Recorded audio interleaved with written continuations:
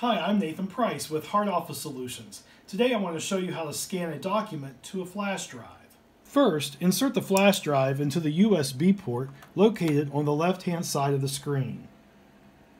Once the flash drive has been detected, the copier will notify you found USB device. From here, select Scan. Select USB.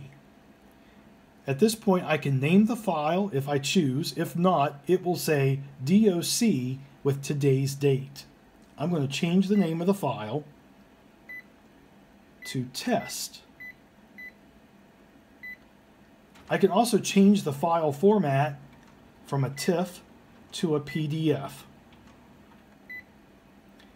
Have the document loaded and ready in the dual scan document feeder and select scan.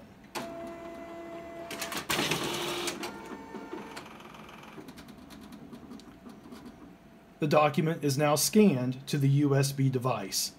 You can now remove your flash drive from the copier.